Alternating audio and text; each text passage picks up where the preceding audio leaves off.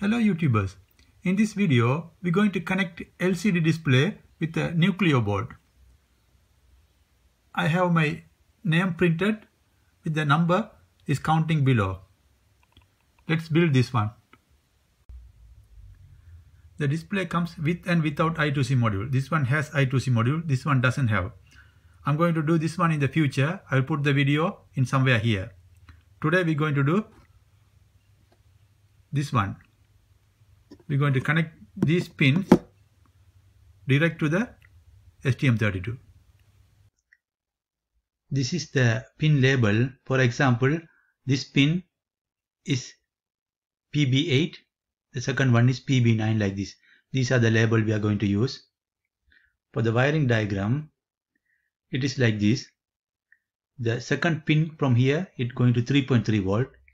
Second pin from here, going to 5 volt these pins it goes straight like this. You don't need to use only this pin. We can use any pin you like. For simplicity I use like this. E is connected here. R is connected here. And the first pin from here and this one and this one and the first pin from here connected to ground like this. The wiring connection is very simple. LCD display wires are here and for the Nucleo board it's like this and the other side it's like this. I have opened the Cube IDE if anybody doesn't know how to install Cube IDE I have made a separate video. It's available here. We can continue.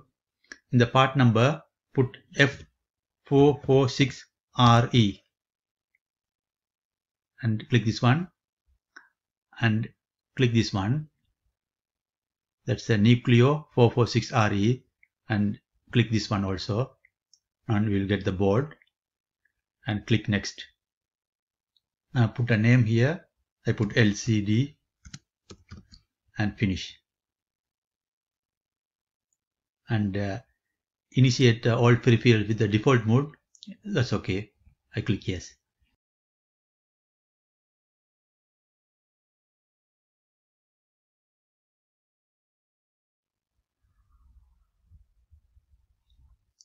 We can click this button to zoom it to make it bigger. Now we make this one pin PA6 GPIO output. PA7 GPIO output. PC7 GPIO output. And these three pins PB4 output PB5 output. The last one PB6 output. That's all the setting. We can click save to generate the code. In the description below of this website I have provided the code. We can copy and paste to save time. When we go there this one when we go below, the diagram is here, the pictures are here, the Cube IDE setting is here, we've already done just now. Now we have to put two files in the library. There are two files, one in inside core inc folder, other one core src folder. So lcd.h, click this one. That's lcd.h, this file name. We copy from here until this line. Copy it and we go to CubeIDE. That core is here, expand this one, INC folder and right click here and click new file. The file name here, put lcd.h and click finish. And we paste it here. And we need to do one change in this line, line number 11, we change this to F4 and we can click save and click close. Next file, we go there, the website, go back and lcd.c click this one and copy from here until here copy it and go to CubeIDE now it's in src folder right click right click here and new file. File name is lcd.c and finish. Now here we can paste it. And now click save. Click close. Now in the main.c file I have provided the code. We go back here. User code begin includes. We need to put this line. Copy it. And we paste it here. User code begin includes. And then we go there. User code begin to. We copy from here until user code end to copy. It go below user code begin to just pass we go up. And that's here.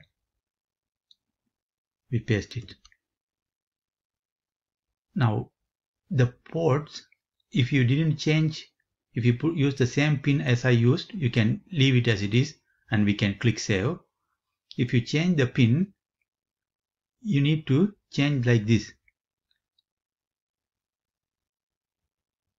This pin from from here to here in that order you need to put these four ports and these four pins.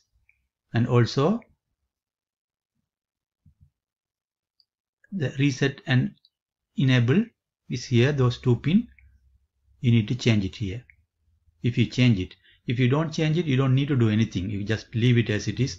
That's all. We can click save and use the green button to upload the code.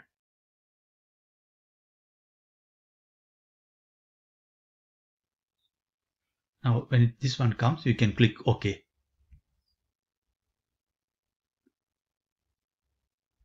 Now the, the thing is it's uploading. I show you something. This is how you print the string this is how you print integer.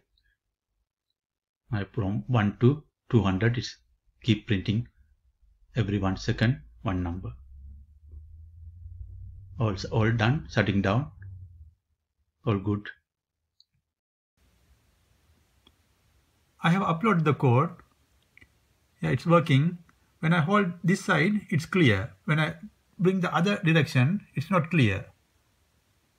So for that, we can include a potentiometer to adjust the brightness. Clear and for the durability, I'm going to connect resistor and potentiometer. The, these wires are same as before. Now we're going to put a resistor here, 100 ohm.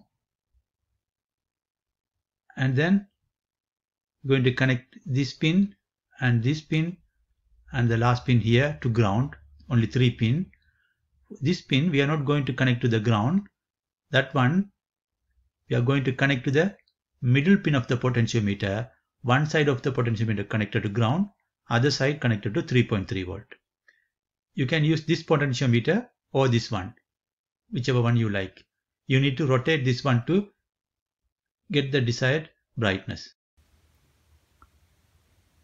I have added the potentiometer. Now it's clear all the direction. I can turn any direction. It's clear. Now the wiring, this side is same and also this side of the Nucleo board is same and here I put the potentiometer here and I did the wiring like this. Thank you very much for watching. If you have any question, write down in the comment section below. I try to answer as much as I can. Thank you. Bye.